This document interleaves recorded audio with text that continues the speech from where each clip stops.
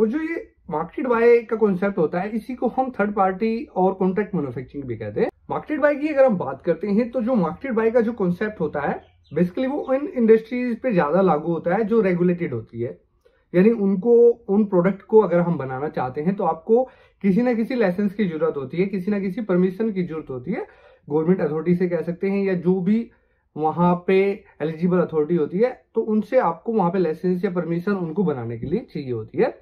वहाँ पे actually marketed by concept ज़्यादा कामयाब होता है, ज़्यादा लागू होता है। एक तरह से हम कह सकते हैं कि वहाँ पे ज़्यादा मार्केटेड बाई कॉन्सेप्ट को हम फिट बैठ सकता है, क्योंकि जो रेगुलेटेड नहीं है, जहाँ बनाने के लिए आपको मैन्युफैक्चरिंग लाइसेंस की ज़रूरत नहीं है स्पेसिफिक रिक्वायरमेंट की ज़रूरत नहीं है, वहाँ तो आपको कोई पूछने वाला नहीं है कि वो आपने खुद बनाई है या किसी मैन्युफैक्चरर ने बनाई है। लेकिन जिन इंडस्ट्रियों में जैसे हम फार्मा लगा सकते हैं, आयुर्वेदिक लगा सकते हैं फ़ूड सप्लीमेंट आ जाता है कॉस्मेटिक्स आ जाते हैं, या और भी बहुत सारी जो रेगुलेटेड इंडस्ट्रीज़ होती है तो वो सारी इसके अंडर आ जाती है। वहाँ पे जो मार्केट बाई का कॉन्सेप्ट है, वो काफ़ी फ़ेमस है, इसी वजह से फ़ेमस है, क्योंकि आप उनको घर पे नहीं बना सकते, आप उनको बिना लाइसेंस के नहीं बना सकते, बिना परमिशन के नहीं बना सकते उनको। तो जब भी आप उनको बनवाने जाते हैं तो आपको किसी ना किसी मैन्युफैक्चर की ज़रूरत होती है, और जो मैन्युफैक्चरिंग प्लांट होता है, या जो सेटअप होता है, वो काफ़ी कॉस्टली प्रोजेक्ट होता है, बहुत बड़ा प्रोजेक्ट होता है। हर पर्सन के लिए हर बिज़नेस के लिए अगर आपको छोटा मोटा बिज़नेस भी है और अगर आप बिज़नेस में नहीं हो तो फिर तो आपके लिए बहुत टफ हो जाता है। अगर आप इतना फाइनेंस अरेंज नहीं कर पाते और डॉक्यूमेंट भी फिर आपको तरह तरह के चाहिए वहाँ पे। आपको मैन्युफैक्चरिंग केमिस्ट चाहिए आपको एनालिटिकल केमिस्ट चाहिए आपको इतना एरिया चाहिए तो वो बा, बाकी जो ये सारी चीज़ें होती है वो बहुत लंबी आपको चली जाती है बहुत कॉस्टली प्रोजेक्ट हो जाता है तो हर किसी के बस की बात नहीं होती वहाँ पे।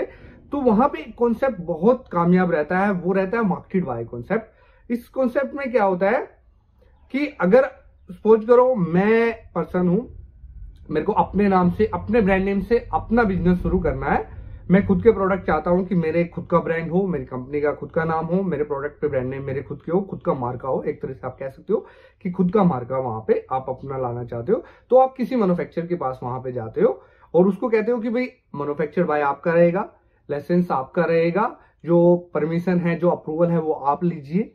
आप केवल उस पर मार्केटेड बाय लिख के नीचे मेरी कंपनी का नाम और मेरी कंपनी का जो एड्रेस है वो मेंशन कर दीजिए और जो मेरा ब्रांड है वो आप यूज़ करिए। उसकी जो आपको अगर कुछ अप्रूवल चाहिए अथॉरिटी चाहिए तो वो आप ड्रग डिपार्टमेंट से ले लीजिए और वो मेरे को मेरे नाम से, मेरे कंपनी के एड्रेस से वो बना के दे दीजिए। तो ये जो बेसिक कॉन्सेप्ट होता है मार्केट बाय का, वो सिंपल सा होता है, कोई बड़ा कॉन्सेप्ट नहीं होता कि आप अपने नाम से, अपने ब्रांड नेम से प्रोडक्ट शुरू करना चाहते हो। आप किसी मैन्युफैक्चरर पे जाएँगे, उसको कहेंगे कि आप सब कुछ आपका रहेगा पैकिंग मटेरियल पे जो भी लिखा जाना है, जो भी अप्रूवल आपको चाहिए कि जो भी पैकेजिंग मटेरियल की रिक्वायरमेंट होगी, वो सब आप कीजिए। केवल मेरा ब्रांड नेम मेरी कंपनी का लोगो और जो नीचे मार्केट बाय रहेगा, वो मेरी कंपनी का नाम और एड्रेस आप लिख के मेरे को दे दीजिए। प्रोडक्ट मेरा रहेगा ओनरशिप मेरी रहेगी, चाहे मैं उसको जहाँ मर्ज़ी बेचू, आपका उससे कोई लेना देना नहीं है। तो ये सिंपल सा एक मार्केट बाय का कॉन्सेप्ट होता है।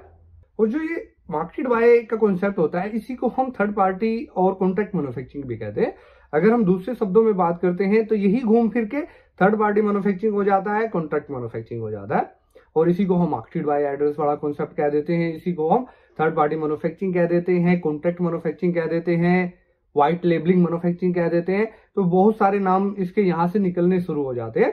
तो बेसिकली यही कॉन्सेप्ट आपका लागू होता है, जब आप अपने प्रोडक्ट को किसी भी मैन्युफैक्चरर से बेसिकली स्पेशली लागू तो किसी भी इंडस्ट्री पे हो जाता है, लेकिन जो रेगुलेटेड इंडस्ट्रीज़ होती है, उन पे ये ज़्यादा सूट करता है, क्योंकि जो रेगुलेटेड ही नहीं है, वहाँ से तो आप मैन्युफैक्चर्ड बाय लिखो, ना लिखो, वहाँ पे तो चल जाता है, उसमें कोई ज़्यादा बड़ा मैटर नहीं रहता।